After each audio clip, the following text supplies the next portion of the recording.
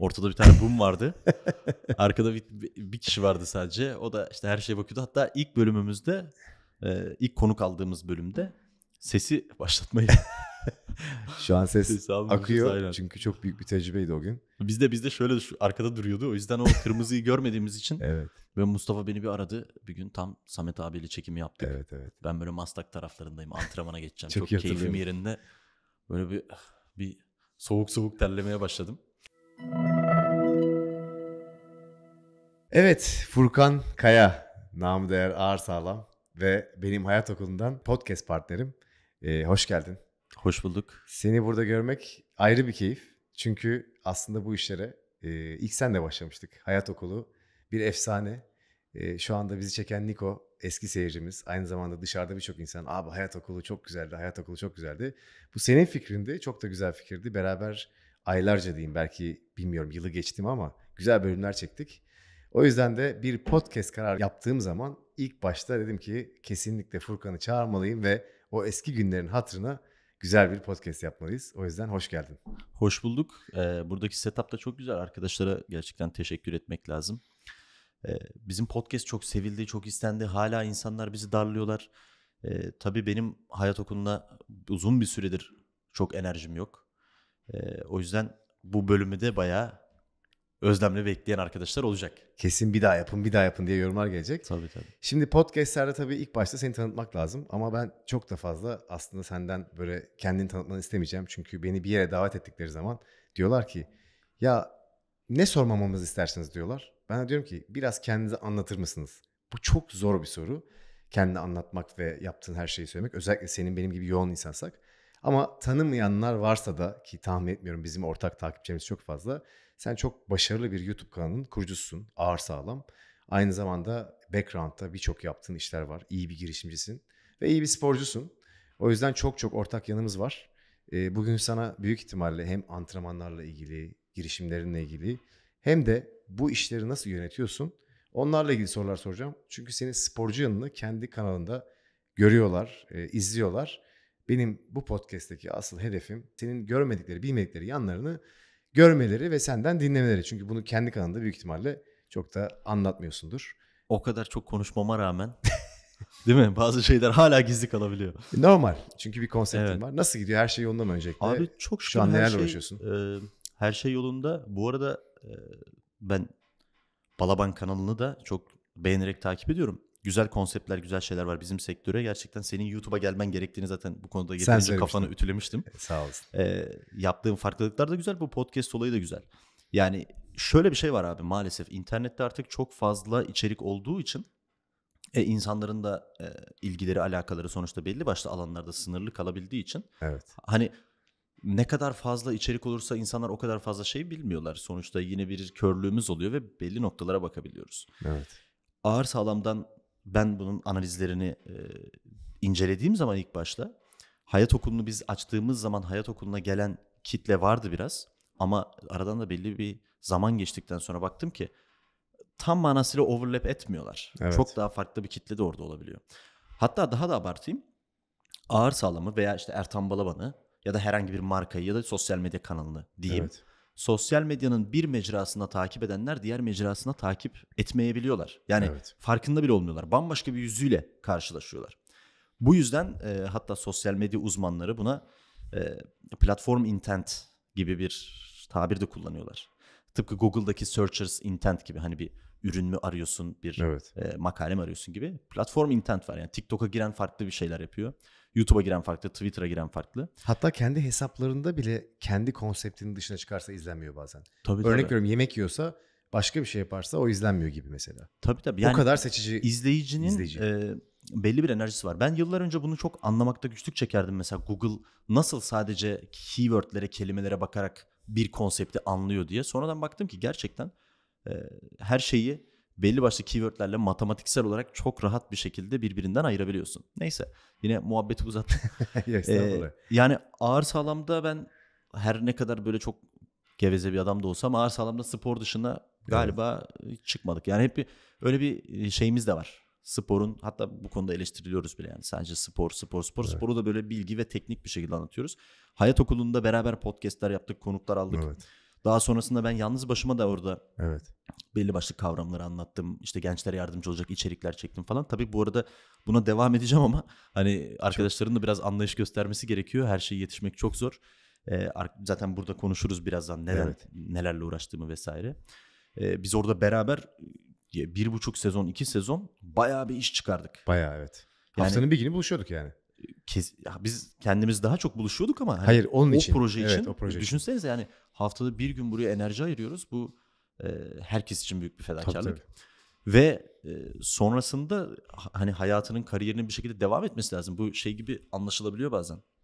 İşte bir futbolcu diyelim Fenerbahçe'den Beşiktaş'a transfer oluyor. İşte Fenerbahçe'yi küstü mü? Yani e, böyle bir şey olduğu için değil abi. Herkesin bir hayatı var ve Evet. iz- ilerlemesi gereken bir şey var. Bugün e, Ertan Balaban Ağır Sağlam Podcast Hayat Okulu gelsin diyen arkadaşlara demek ki biz çok doğru bir şekilde Evet. e, zirvede bırakmışız. Evet. Ki herkes onu bir özlemle istiyor. Bunlara ihtiyaç var. Şimdi mesela senin de burada bu kadar lafı niye anlattın diyeceksin. Senin de burada bir fitness ya da bir sporcu doğa adamı olarak podcast yapman da bence çok güzel bir şey.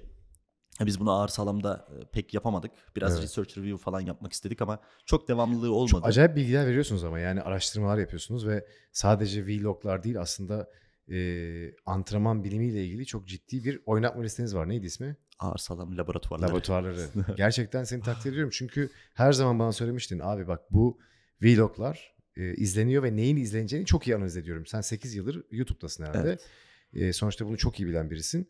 E, ama laboratuvar kısmı izlenmiyor ama ben onu her zaman yapmaya devam edeceğim. Çünkü o benim için idealist bir bakış açısı ve ben bilgi vermeye, paylaşmaya e, başlamıştım ilk videolarda. Onu hiçbir zaman bırakmayacağım demen de senin e, çok idealist yanını gösteriyor. Ben bunu takdir etmiştim. Yani 10 binde izlense, 50 binde izlense, 100 binde izlense sen diyorsun ki ben onları anlatmak istiyorum. Bu Evet. çok harika bir şey. Tabii bu bir, bir manada da beceriksizlik abi. Biz de vlog yapıp çok da izletebilseydik. Yani şöyle bir şey var. Yok, ben yok, e, bizim ekip olarak da tabii e, çok şeyi hani kitle tutmayı bilmek de farklı bir şey. Evet. Yani kitleye attığın her videoyu izletmek vesaire bu hiç kolay bir şey değil. Bugün televizyonda belki de hani uzun zamandır izlediğimiz bazı programlar bile Allah bilir hani o dataları görebilsek Tabii. ne kadar kitle e, izletiyordur. Bu tabii spor sektöründe bence insanlar hani farkında değil. 10 bin kişi seni izliyorsa bu bir business'tır artık yani. Evet. Böyle düşünüyorum. Ee, dolayısıyla yani podcast olayı, senin bu işi yapman, senin buna bir sürü senin bir sürü işin var. Arkada vakit ayırma. Ailem var. Hadi benim ailem de yok yani. Ee, bunların arkasında vakit ayırman falan çok muazzam bir şey. Bu arada şimdi arkadaşlar diyecek ki Furkan niye böyle konuşuyor? Ben normalde bağıra çağıra kahkaha ata ata konuşuyordum. Şimdi mikrofonu yeni test etmeye başlıyorum. Birazdan gelecek yani. Bir de kulaklık niye falan diye yazmışlar ilk bölümün altına. Ee, aslında bu kulaklık çok hassas bir şekilde sesi duymamıza ve çok temiz konuşmamıza yarıyor. Podcast'teki özellikle biz bunu sadece YouTube'da değil Spotify'da da yayınlıyoruz. Özellikle aslında gördüğünüz şeyler değil yani. Burada bir masa ve on air yazan bir e, itemimiz var yani. Ama onun dışında aslında önemli olan şey ses olduğu Tabii. için. Yani insanlar bunu YouTube'da e, aslında görmeden izlesin ya da işte YouTube müzikte ya da Spotify'da diye. Özellikle sese önem verdiğimiz Evet. için bu kulaklığı ve mikrofonu aldık. Onu da sormuşlar bize. Tabii. Yo çok güzel. Biz hatırlarsan seninle ortada bir tane boom vardı. Arkada bir, bir kişi vardı sadece. O da işte her şeye bakıyordu. Hatta ilk bölümümüzde e, ilk konuk aldığımız bölümde sesi başlatmayı Şu an ses akıyor aynen. çünkü çok büyük bir tecrübeydi o gün. bizde bizde şöyle şu arkada duruyordu. O yüzden o kırmızıyı görmediğimiz için Evet, ve Mustafa beni bir aradı. Bir gün tam Samet abiyle çekimi yaptık. evet, evet. Ben böyle Maslak taraflarındayım. Antrenmana geçeceğim. Çok çok keyfim yerinde. Böyle bir bir soğuk soğuk terlemeye başladım. Sonra sen de beni aramıştın. Ama e, hata da yapsak, e, işte her hafta buluşup elimizden geleni de yapsak benim için acayip keyifli bir şeydi. Çünkü o dönemde e, insanların sorularını okuyordum yorumlarda ve aslında yaptığımız şeyin bazı insanlara ulaştığını görüyordum. Evet. Bu yüzden kendimi geliştirme konusunda böyle e, kendimi sorumlu hissettim. Dedim ki yani kitap önerisi diyorlar işte ben neler okuyayım, anlatayım ya da işte bir konuk geliyor, konuğun kitabını okuyayım falan gibi. Böyle şey gibi hani maça hazırlandığın zaman kaslarını geliştirirsin ya da işte yarışmaya. Orada da bir konuşma olduğu zaman karşındaki insanın e, kitabı varsa kitabını okuman, işte ne bileyim e, yazdıkları ya da işte e, televizyonda programları varsa onu izlemek gibi e, bir sorumluluklar vardı. Bu da beni geliştirmişti açıkçası. E, çok keyifliydi. Ama oradan da bayağı insana ulaştık gerçekten. Tabii. E, Türkiye'deki gençlerin şunu gördüm. Hani spor dışında kendini geliştirmek isteyen çok ciddi bir kitle var. Ee, ve her zaman da söyledik yani biz e, sadece burada konuşuyoruz ve konuklar alıyoruz. Burada da aslında ben aynı senin bugün olduğu gibi insanların bütün tecrübelerinden hem kendim yararlanmak için hem izleyenleri yararlandırmak için e, böyle bir podcast yaptım. Çünkü e, collaboration yaptığımız zaman yani ne yapıyoruz? İşte gidiyoruz antrenman yapıyoruz. Orada gırgır gır yapıyoruz ve insanları güldürebiliyoruz ve antrenman bilimiyle ilgili bir şeyler veriyoruz arada. Ama daha derinlemesine konuşmak için bence bir masaya oturmak gerekiyor. Yüzde Ben bu kanalın izleyicilerinin o masaya ihtiyacı olduğunu düşündüğüm için de e, çok değerli insanları buraya çağırıp hepsinin e, tecrübelerinden faydalanmak istiyorum. Son olarak şunu söyleyeyim. YouTube'a girmemdeki en büyük sebep sensin. Dediğin gibi hani kafana ütüyordum dedin. Ben sana çok teşekkür ederim. Çünkü TRT'de belgesel yaparken ya YouTube nasıl yapayım abi ben dünyayı geziyorum falan derken e, arkadan bir şekilde başlattın beni yani hem ağır sağlam kanalında değişim videoları işte hem hayat okulu falan sonra ben de yapayım falan derken başım belaya soktun. İki yıldır her pazar video atıyorum. Evet Hani- abi bu, bu zehri Evet. aldın sen de. Kolay bir şey de değil. Gerçekten e, düzenli bir şekilde bunu yapmak hani çok düzenli bir şekilde diyet yapmaya benziyor. Evet. Dışarıdan hani başlayayım diyorsun ama hani başladığın zaman bırakabiliyorsun. E, Tabii. ben de iki yılın sonunda şu anda 98 bin lira geldim. E, inşallah 100 bin plaketi gelince ilk seni arayacağım. Furko diyeceğim. Beni bu yola soktun ama bak e, plaket geldi. O yüzden ayrıca sana teşekkür ederim. Estağfurullah yani e, çok gerçekten bizim sektöre ihtiyacı olan bir alandan girdim bence sosyal medyaya. Burada da bu arada şunu söylemek istiyorum. Bu podcast olayında da hem senin sesin çok karizmatik hem de e, hakikaten insanlar seni bir abi olarak görüyorlar. Sağ olsunlar. Ya mesela beni de artık ben neredeyse 30 yaşındayım. Beni de abi olarak görüyorlar ama seni gerçekten deneyimli bir abi olarak görüyorlar ve insanları etkiliyorsun. E, dolayısıyla ben bunu her yerde görüyoruz. Zaten konuşuyoruz da ben hani Evet. e, konsepti anlatmak için arkadaşlara da anlatıyorum. E, bu içeriklere devam ediyor olman çok kıymetli. Çünkü insanların bir motivasyona ihtiyacı var. Belki daha önce anlattım anlatmadım ama benim de sosyal medyaya girmeme sebep olan Elliot Holst'tu mesela. Evet. Ya o, o beni motive ettiği için, birisi bana el uzattığı için oraya Evet. bir e, bir e, gönül bağı kurduktan sonra sen de bunları paylaşmak istiyorsun. Yani ben şöyle bakıyorum mesela ülkeme diyorum e, ne yaptım? Yani kime minnettarım? Beni devlet okuttu bir, bir süre yani burs Evet. aldım devletten. Ondan sonra bir vakıf üniversitesinden burs aldım. Yani bu insanlar demek ki bana bir el atmışlar ve ben onların sayesinde bir şeyleri başarmışım. Bir zenginlik, bolluk bir şeyler oluşturabilmişim. Farklı fikir Kesinlikle. oluşturabilmişim. Dolayısıyla bunun çok kıymeti var. Keşke bu e, gerçek manada influence dediğimiz şey olan bu anlattığım Doğru. şeyleri e, daha da yaygın görebilsek. Yani maalesef ben bundan dolayı çok tatmin değilim. Gençler aç- açısından da bir genç olarak da e, daha çok keşke influencer ile karşılaşsak gerçek manada. Bizi harekete geçiren insanlarla. Sadece bizi e, bunu negatif bir manada da söylemek istemiyorum ama kelimenin doğru anlamı manipülasyon. Yani sadece benim eğlenmek istediğim için bir içerik üretiyorsa bir kişi çok başarılıdır bir şey demiyorum. Tabii ki. Ama bence bir influencer değildir. Evet. Yani o örnek veriyorum porno sektörü bir influence yaratmıyor ama çok Entertainment değil mi? diyorsun. O bir entertainment'tır. Evet. O da kıymetlidir. Bir şey diyemem. yani o da, o da önemlidir. Ama bir influence Buradan bir Reels değildir. Sana. Bu, bu influence değildir. Tam Yani, oradan bir Reels keseceğim. Ve reklam basacağım ona. Şaka yapıyorum. Çok iyi anladım seni. Doğru söylüyorsun. Dediğin gibi yani e, her içeriğin bir amacı var. Ben her zaman söylüyorum bu arada videolar yaparken. E, beni de içerik üretmek çok motive ediyor. Yani değişim sürecinde eğer ben YouTube'a içerik üretmiyor olsaydım gerçekten 40 yaşında her sabah haftanın 7 günü 7'de kardiyo yapıp 14 hafta boyunca diyetimi bozmadan %7 yağ oranına düşemezdim. Yani 7. hafta falan derdim ki artık yeter. Ama ekrana bir söz verdim. Takipçilere bir söz verdim. Videolar 50, 100 bin, 120 bin izlenmeye başladı. Yani kitle arttı ve dedim ki 100 bin insan abi. Yani Fenerbahçe stadına bakıyorsun kaç kişi bilmiyorum ama herhalde 50-60 bin mi bilmiyorum. 48. Yani 48 bin mi? He. Yani 100 bin insan diyor ki abi işte sayende spora başladım falan. Yani bu yorumu okuyorsun. Sayende spora başladım. Sayende sigarayı bıraktım falan. Nasıl tetikliyor biliyor musun? Hani Tabii. ben sana bunu anlatmayayım. Sen bunu 8 yıldır yaşıyorsun.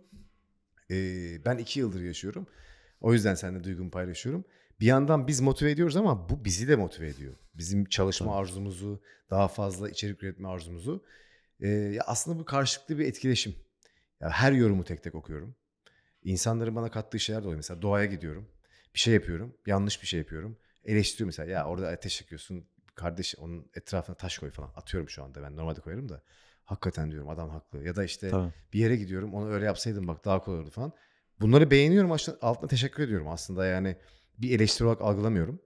Ya da işte e, boks videosu çektim geçenlerde. Biri demiş ki ya fitness yapmış, yumruk atmayı unutmuş falan. İşte şey yapıyor, dirsekleri açıyor falan dedi. Bu çok negatif algılanabilirdi aslında ama ben algılamadım. Hakikaten dedim ya ben tam böyle fitness olmuşum falan. Şimdi böyle zayıflamaya başladım falan farkındaysan. işte böyle daha boksör gibi antrenman yapıyorum falan. Yani aslında bu karşılıklı bir alışveriş. Önemli olan buradan bir şeyler çıkartmak hem de keyif almak. Sen bunu 8 yıldır yapıyorsun. Evet. Biz de 2 yıldır yapıyoruz ama e, gittikçe de güçleniyor. Yani bugün Disney'de, Netflix'te yönetmenlik yapan insanlarla abilerimle konuştuğum zaman YouTube yapıyorum dediğim zaman ilk başta bana YouTube mu? Ya sen gel ya bir şey yapalım diyeceğini düşünüyorum. Bana tam tersi şey diyorlar. YouTube gelecek diyorlar. Bizim belgesel 5 bölüm izlenir biter ama YouTube forever, Tabii. sonsuz diyorlar. İnsanların YouTube'a olan e, güvenini, saygısını çok net görüyorum. İlk başlarda çocuk platform falan. Sen bile bana, yani sen bile derken yakın dostum olarak bana abi YouTube yap dediğin zaman ben sana ilk tepkim ya bilmiyorum falandı. Ya da ben karar verdiğim anda eşimin, dostumun, hakikaten eşimin ve arkadaşlarım bana söyledi. YouTube mu abi sen TRT'ye belgesel yapıyorsun. Yarın bir gün başka bir özel kanal yapacaksın. Yani YouTube demişlerdi. Bu algıdan şu anda bir medya yani 100 bin abonem var e, ya da 500 bin, 1 milyon ve ciddi izleniyorsun ve insanlara bir şey söyleyebiliyorsun. Bugün Tabii. çok ünlü spikerler bile YouTube kanalı açıp daha büyük kitlelere hitap etmeye başladılar.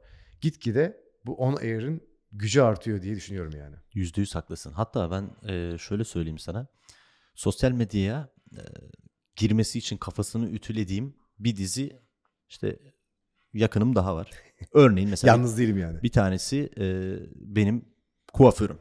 Hı hı. İsmail abi. İsmail abi çok tecrübeli bir kuaför. Dedim ki ben ona ya abi dedim bak YouTube'a bir şeyler at. Aa, Şu ya bunu şu şu manada söylüyorum. Bakın biz eskiden e, daha hani şehir hayatından da biraz daha önceye gittiğin zaman bilginin paylaşılma tarzı Hı hı. Genelde işte İsmail abi iyi bir adamdır. Çevresi onu bilir. Bu şekilde devam ederdik.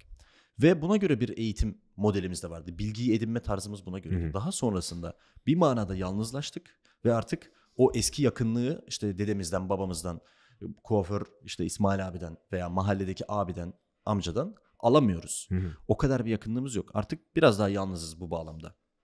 Ama aynı zamanda tüm dünyaya da açılabiliyoruz. Bunun için de oraya e, ve her şey de daha hızlı oluyor bu esnada. Yani artık hiçbir şeye tahammülümüz yok. Örneğin yemek siparişi verirken bile tek tıkla kredi kartımı girmeden her seferinde kredi kartımı girmek istemiyorum diyoruz. Bir oyun oynuyoruz mesela oradaki animasyon bile biraz böyle devam edince tamam artık ben bu animasyonu gördüm tıklayayım da geçsin demek istiyoruz. Yani bir saniye bile önemli olmaya başlıyor. Dolayısıyla her anlamda insanlara hızlıca erişebileceğimiz ve onların felsefesini, bilgisini veya hizmetini, ürününü her neyse iyi bir şekilde anlayabileceğimiz bir e, döneme doğru gitmek zorundayız. Evet. Buna da işte dijital e, content marketing vesaire diyorlar. Yani içerik üzerinden bir kendini ifade etme tarzı. Ağır sağlam bir içerik üzerinden ağır sağlam antrenman felsefesini anlatma metodu. Ben reklam vermiyorum. Hatta bir dönem reklam vermeye başladım. Sonra dedim ki ya bu, buna para harcamak bence tamamıyla saçma. Daha Evet. iyi şeyler yapabilirim. Ee, tabii bunu kimse yanlış anlamasın. Markası vardır. içerik üretmeye Tabii, tabii. vakti yoktur. Ve ona devam edebilir. Ama ben şunu fark ettim ki ben markamı, kalitemi, işimi büyütmek için içerik üretmeye devam etmekten daha iyi bir şey yapamam. Ve ben bunu en başta daha 20 yaşında bir öğrenciyken bunu yapabiliyormuşum. Şu anda ben parayla işimi büyütmeye çalışıyorum. Dedim bu çok yanlış. Evet. Ve hatta 2020-2021 ben biraz ticarete odaklandım. Ve sosyal medyayı da biraz ihmal ettim sen de biliyorsun. Evet. Ee, bu sene mesela tekrar dedik ki geri dön abi boş ver zaten en keyif aldığımız şey. İnsanlara aktaralım gerekirse tendonla alakalı bilmem ne videosu çekelim 5000 izlensin. Ama yeter ki biz orada olalım ve o o bilgiyi paylaşalım. İnsanlar buna ulaşsınlar. Benim annemin evde boyun ağrısı var ve onun problemini e, buradan ismini vermemde bir yanlış olmaz. Aktif Fizyo kanalının canlı yayınlarına katılarak çözmesi e, beni acayip keyiflendiriyor. Dünya bence böyle bir yer olmalı. Doğru. İnsanlar her şeye, özellikle bilgiye, fikre, zenginliğe, bir işin kolay yoluna, how to'suna kolayca ulaşabilmeliler ve buradaki kalite arttıkça insanların total üretimi de artacaktır. İsmail abi ne yaptı? Ee, Çok e, biraz eski kafa olduğu için çok böyle büyütmedi kanalı. Çok abonesi olmadı ama cirosunun %10'u 15'i onun lokal İstanbul'daki e, kuaförüne gelen cironun %10'u 15'i sosyal medyadan geliyor işte. E, örnek veriyorum yani saçını perma yaptırmak isteyenler veya Hı. tam bilmiyorum teknik terimini de yani bu insanlar bile bunu çok iyi kullanabiliyorlar demek Aslında istiyorum. şunu diyorsun. Bir tanesi 1 milyon izlenebilir ve izlenmeden bir geri kaynağı olabilir. Ama bir tanesi 100 izlenir. Ama oradan 10 tane müşteri gelir. O 10 tane müşterinin cirosu da ona çok ciddi bir şey katabilir. Her Kesinlikle. anlamda YouTube'un farklı farklı e, kapıları var diyorsun. Ben de buna kesinlikle katılıyorum. Peki seni çok iyi tanıyan biri olarak sana iki tane şey soracağım. Birincisinden başlıyorum. Birincisi iyi soru. ikincisi biraz zor soru. Hangisinden başlayayım? Abi biliyorsun benim dilimin kemiği yok Aynen. hangisi olursa. Tamam o zaman bununla ilgili olan sorumu sorayım. Tam bununla ilgili. Aslında seni takdir ettiğim bir yanın da var. Ben mesela hani çok politik bir insan değilimdir açık söyleyeyim. Ee, düşündüğümü söylerim karşımdakine. Kendimi ifade edebilen bir insanım. Ama tabii ki sosyal medyada bizi izleyen birçok insan olduğu için hani bazı şeylere dikkat ederim. Ee, daha şeyimdir yani. Birçok insan da böyledir bu arada. Sen özellikle Twitter'da ya da işte Instagram'da ağır sağlam olmayan diğer hesabında falan e, hem Covid zamanında işte hem siyasi e, duruşunda falan gerçekten aklına ne gelirse ve bunu bütün samimiyetinle yaptığını biliyorum yani stratejik olarak yaptığını düşünmüyorum. E, çünkü seni tanıyorum. Bütün samimiyetinle ve bütün delikanlılığına diyeyim hiç geri vites yapmadan tabiri caizse beyan ediyorsun. Gelen yorumlar umurunda değil. Hatta ben sana bir kere bir e, dost dostun olarak diyeyim şunu söyledim. Ya dedim Furkan senin hani bu kadar ticaretin var, izlenmelerin var. Seninle karşı fikirde olan insanların e, seni unfollow etmesi ya da atıyorum aldıkları eşyaları almamaları gibi bir şey söz konusu. Sen ticaretini zedeliyorsun. Niye bunu söylüyorsun dediğim zaman benim için hiç önemli değil. E, onlar beni takip etmezse de onların bileceği iştir ama ben düşüncemi söylerim gibi bir e, şeyde bulundun. Bu aşırı mertçe bir yaklaşım. Hani bazılarına göre doğrudur, bazılarına göre değil. Ben bunu yapmıyorum diye yanlış anlamına gelmiyor ya da sen yapıyorsun diye doğru anlamına gelmiyor. Ama takdir ediyorum ve çok cesursun bu konuda. Yani sosyal medyada bazı insanlar da böyle atışmaların oldu herhalde. Ben ismen bilmiyorum bile şu an takip etmedim. Çalış Benim dersime- bizzat bir atışmam Ha, olmadı da hani yorumlardan bana, mesela. bana Ha. evet. Bu mesela bu kadar yoğunluğun arasındaki bir sonraki sorum yo- yoğunluğun ve girişimciliğin olacak. Ee, sana zor gelmiyor mu bu kavga yani bu şey ya da e, bundan nasıl böyle bir şey alıyorsun yani hani business anlamında zarar vermiyor mu zamanını harcamıyor musun Ee, iyi yönetiyorsun bunu yani ve biraz sivrisin hakikaten bu konuda. Abi e, evet pandemi döneminden sonra benim tabii ben daha gencim ve benim de karakterimi keşfediyorum, kendimi keşfediyorum. Robert Greene'in e, Laws of Human Nature diye bir kitabı var. Orada bir karakter tiplemesi vardı. 48 tane kural mı? O ondan sonra yazdığı Sonra- bir kitapta insan doğasının Ay, insan işte doğası tamam şeyleri. hatırladım. e, orada bir karakter vardı. Hostile karakter diye. Kavgacı, şeyci. Mesela böyle tipler vardı ya mesela futbol oynarsın adam o kavgayı arar yani. Bende böyle bir yapı var. Bende kesinlikle var. O, onu okuyunca böyle daha da bir Yok desen yalanlayacaktım. çarptı. Evet. Ben o, ben ona bayılıyorum. Farkındayım. Ben bunu negatif bir şey olarak da görmüyorum. Yani Evet. mesela seninle burada zıtlaşmaktan ben keyif alırım. Evet. Hani e, tabii ki onaylarım da Evet. doğruysa ama senle %80 onayladığım bir şey varsa o Evet. %20'nin kavgasını burada etmekten de hoşlanırım. Evet. E, tabii bu her davranış modeli gibi herkes tarafından kabul edilmeyebilir. E, ama ben bundan ayrı bir keyif alıyorum. Yani makara olarak görüyorum aslında ben bunu ama Evet. tabii ki çok haklısın. İnsanlar bazı şeyleri yani örnek veriyorum. Bugün bir e, Covid dönemi geçtiği için bunu daha rahat söylüyorum. Yani ben tabii ki e, insanların sağlığını ve refahını hissediyorum, düşünüyorum. Bana paper geliyor, bakıyorum işte hastalığın durumuna vesaire ve bunun karşısında politik olarak önerilen şeylere bakıyorum. E, o zaman demiştim ki yani bu kimse bize söylemeyecek mi yani bu doğru bir yaklaşım değil. Evet. Nitekim e, bunu ben haklı çıktım diye söylemek istemiyorum. Çünkü haklı çıkmanın gerçekten hiçbir şey yaramadığının farkındayım bu hayatta. Maalesef çocukluğumdan beri ben biraz karakterim böyle. Evet. Haklıyım. Ama hani teknik olarak o işi beceriyorum, kotarıyorum ama bunun hiçbir faydasını görmedim. Bir de acayip verilerle gelirsin sen. Bir kafaya taktın mı eve gidip araştırırsın. Abi işte bu çok zararlı bir şey biliyor Evet. musun? Neden biliyor musun abi? Acayip makaleler koyarsın, grafitler koyarsın. Bak bu böyle bu şöyle falan. Dibine kadar buna emek harcarsın. Tanıyorum seni. Yani bu e, buradan arkadaşlara da söyleyeyim. E, çünkü bu soruyu bana da tabii soranlar oluyor. Hani burada senin sorman da güzel olur derli toplu bir Evet. hani bizi seven arkadaşlara bir yanıt gibi olur. Çünkü ben ne kadar bunu kendi başıma bu soruyu yanıtlasam da e, doğru algılanmayabilirdi. Ama ben burada sana bir abim olarak içimi dökeyim yani. Aynen. E, haklı olmanın bu hayatta hiçbir faydası yok. Ama bakın yani yüzde beş, Doğru, yüzde on faydası var falan demiyorum. Hiçbir faydası yok. Hele bir e, politik figür önde gelen bir insan evde bile ailende eşine karşı haklı olduğunda eline geçiyor. Bunu çok iyi bilen birisiyim. Çocukluğumdan beri yaşıyorum. Sana çünkü. rahatlıkla söyleyebilirim ki eşine karşı haklı olduğun zaman eline hiçbir şey geçmiyor. Yani yüzde yüz ama bu hani eşle de böyle hani insanlar yok şey o anlamasın. ara espriydi. Hani e, Tabii, tabii. hani kadın erkek şeyi gibi Yok, anlamasın. Yok, tabii ki. E, şunu söylemek istiyorum. Ben bunu biliyorum ama bazen de bazı şeyleri e, toplumda bazı insanların fırlama olması lazım. Evet. Bazı insanların tırnak içerisinde e, hain olması lazım örnek veriyorum. evet. Bazı insanların çıkıntı olması Bu lazım. doğanın dengesi gibi galiba. Aynen öyle. Herkes eşit aynı olamaz yani. Ke- kesinlikle olmamalı zaten. Yani bu burada bir güzellik var. Evet. Ha, ben şahsen yaptığım şeylerin çok böyle e, konuştuğum şeylerin o, o zaman mesela o kapanmalara falan e, Evet. karşı çıkan birkaç video hazırlamıştım. Ya bunları kendi hesabımdan yaptım bu arada. Hani ağır sağlamla bir alakası Evet yok da. evet. Sonuçta insanlar beni takip ediyorlar ve özdeşleştiriyorlar. Benim adımı bilmeyip ağır sağlam diyen insanlar var.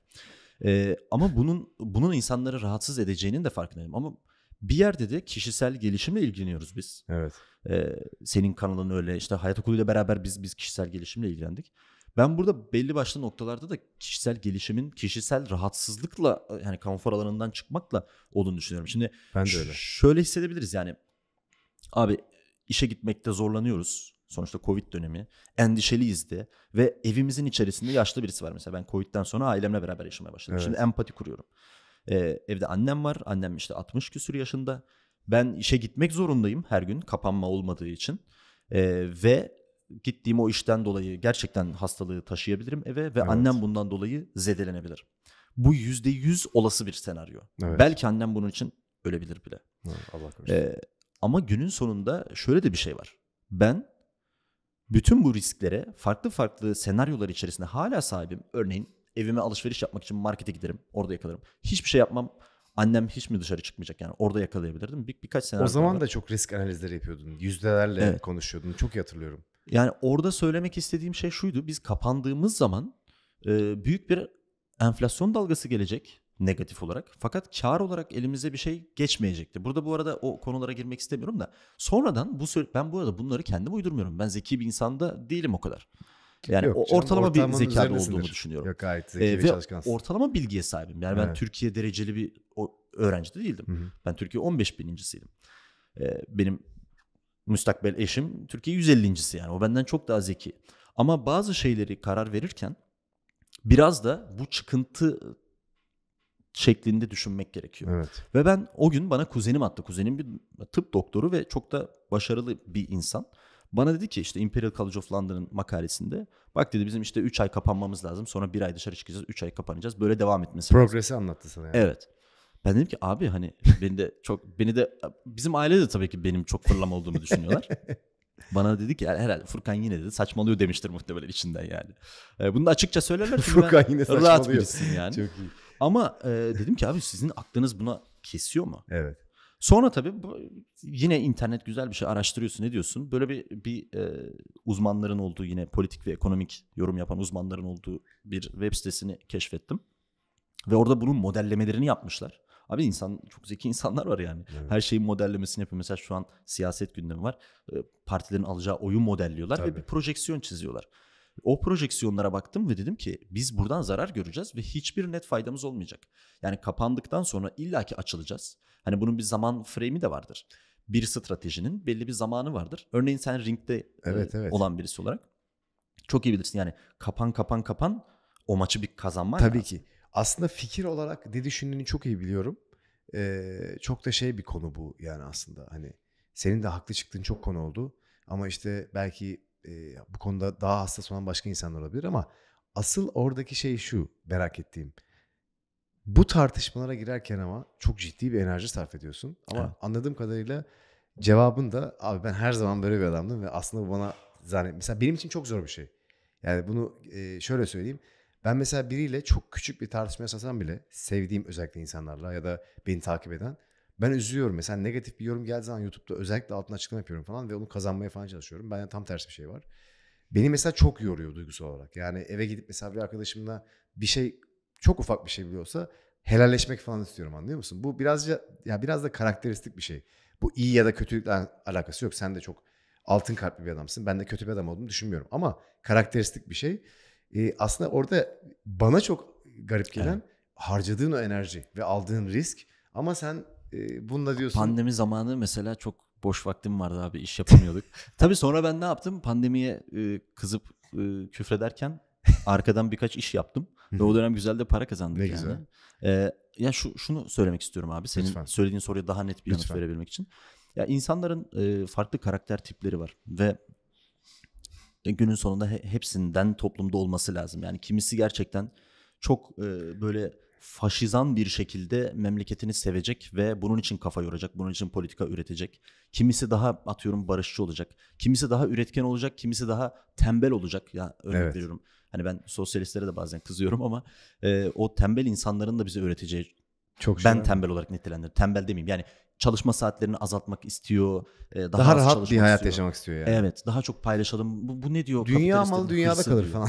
Evet. Yani herkesten bence öğrenecek bir şeyimiz var. Tabii ki. Ee, dolayısıyla ben de bu spektrumun bir yerine düşüyorum. Bu e, tabii ki insanları üzmek, kırmak istemiyorum ama günün sonunda bazen de bu, ya bundan ben keyif alıyorum onu söyleyeyim. hani e, böyle tipler vardır muhalif olmaktan keyif alırlar. Evet. Ve e, insanlar onları bazen şarlatan niyetine böyle keyif aldıkları için de dinlerler. Ama sonuçta benim günün sonunda gerçekten bir işim gücüm de var. Ya Evet. Buna vakit ayırabildiğim zaman böyle bir toplumsal olayda kayıtsız kalmak istemedim.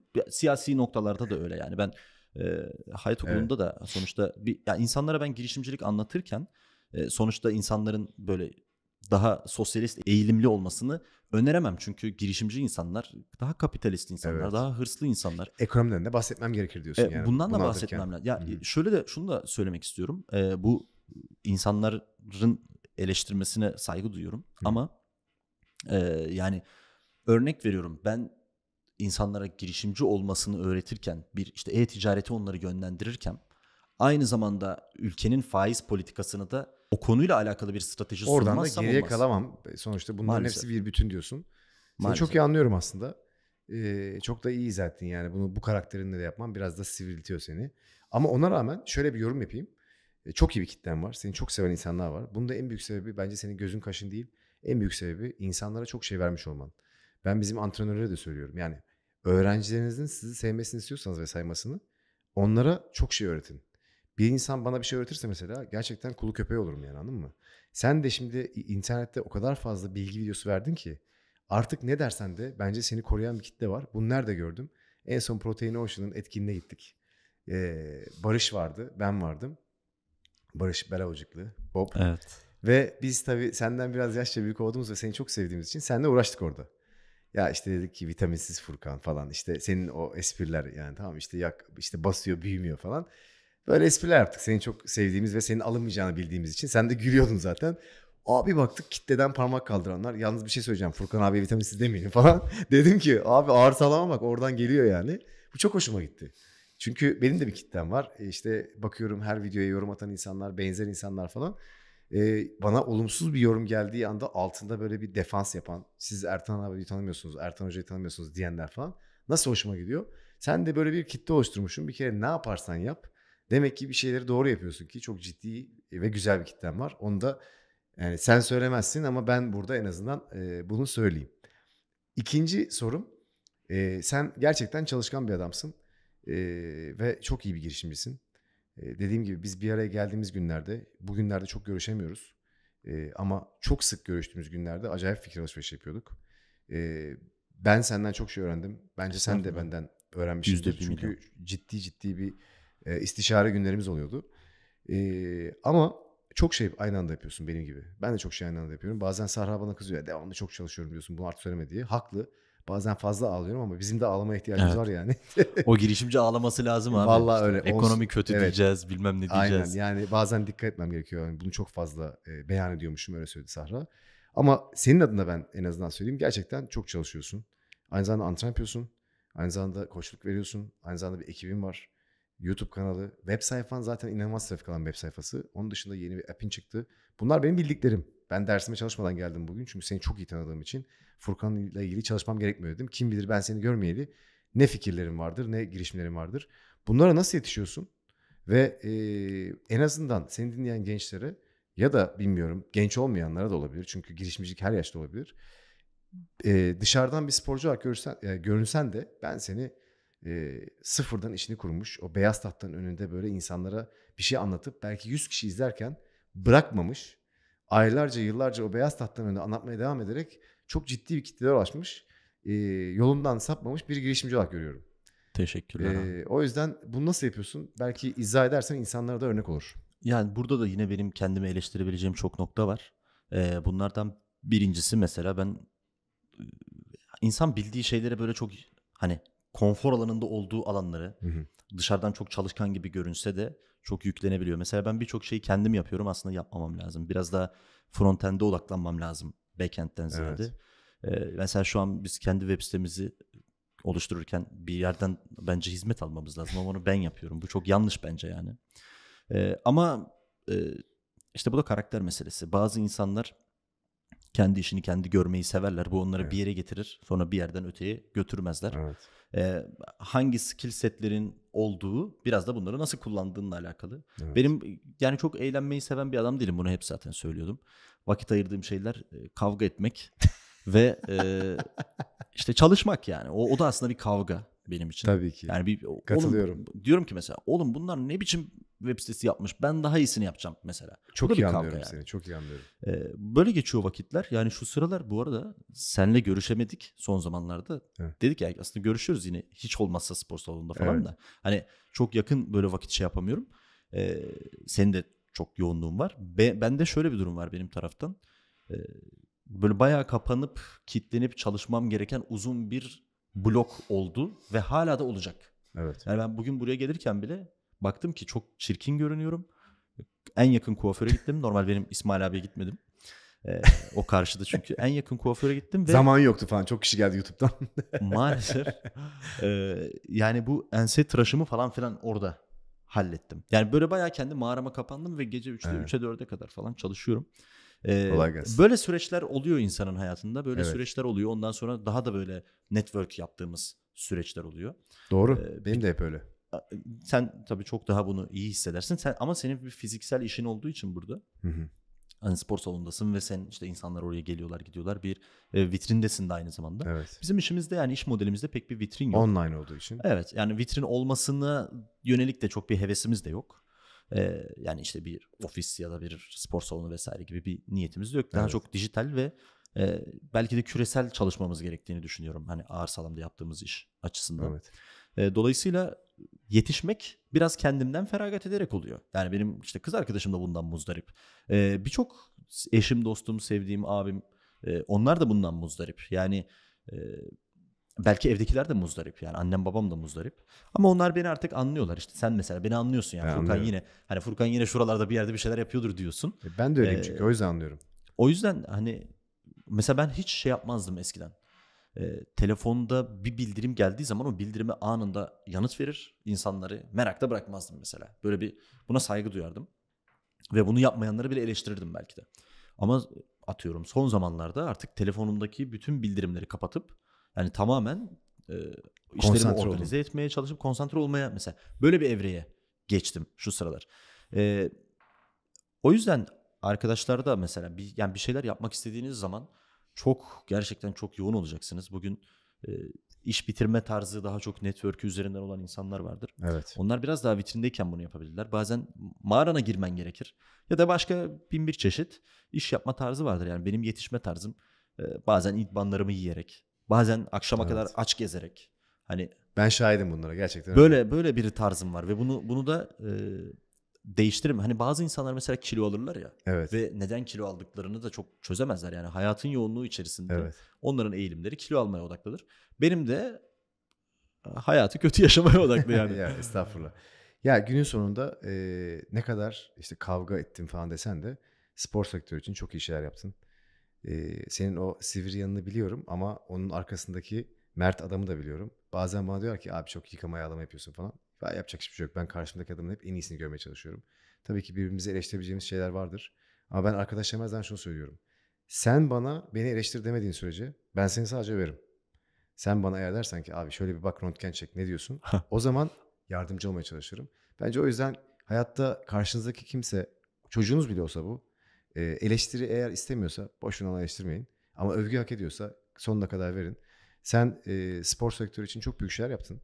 E, yine söylüyorum benim de sosyal medyadaki vizyonumu, YouTube'a girmemdeki e, o ilk adımı atmamda büyük bir etkensin. O yüzden bugün burada olmam benim için e, çok güzel bir şey. Ayrıca senle biz zaten kamera arkasında saatlerce sohbet ediyoruz. Evet. Bunu burada yapmak çok değerli. Çünkü en azından dedik ki hani bir daha buluşalım. Bayağıdır görüşmüyorduk. Ee, belki bir dahakini hayat okulunda tekrar yaparız. Evet. Güzel olur çünkü takipçiler bayağı yazmıştı. Hayat okulundan e, en son video çektiğimde dedim ki bak uzun zamandır bana kızıyorsunuz. Bir, tamam toparlayacağım dedim. Ondan sonra bir daha video atmadım. Belki yine buraya geliriz. Evet. Stüdyo önemli değil. Evet. Farklı renklerle hayat okulunda da bir şey atarız. Sen de her zaman çünkü biz 100 kere podcast yapsak e, 100 kere konuşacak bir şey buluruz. Çok benzer hayatlar yaşıyoruz. E, Ortamımızı umarım beğenmişsindir. Çok güzel bir ortam. Arkadaşlara da teşekkür ederim. Evet, Niko sağ olsun e, bu konuda büyük destek. E, Zeynel, aynı şekilde Buğra. One Creative Agency'ye de hoş geldin. E, bu da benim girişimlerimden bir tanesi. Hoş bulduk. Son söylemek istediğin şeyler varsa e, alırım. Ne, de- ne demek istersen. E, ama ben şahsım adına çok teşekkür ederim geldiğin için ve e, benim için de harika keyifli bir e, sohbet ve podcast'ti. Ben de teşekkür ederim. Son söylemek istediklerim de arkadaşlar içerik üretin. İçerik üretin yani neyse işiniz. Bir lokal kuaför de olabilir. Bir e, hele de dijital iş yapıyorsanız muhakkak mükemmel bir e, YouTube kanalınız, blogunuz vesaire olmalı. İnsanlara yardımcı olan. E, en büyük pazarlama ağınız bence o olacak. İkincisi işte benim gibi kavga etmeyin ne diyeyim yani. Geçen gün ikimizin de çok sevdiği Joe Rogan'ı izliyordum. Dedim ki nasıl kapatacağım podcast'i? Bilemiyorum nasıl kapatacağımı. O şöyle yapıyor, eğiliyor ve bye everyone diyor. Ben de öyle kapatıyorum. O zaman görüşürüz.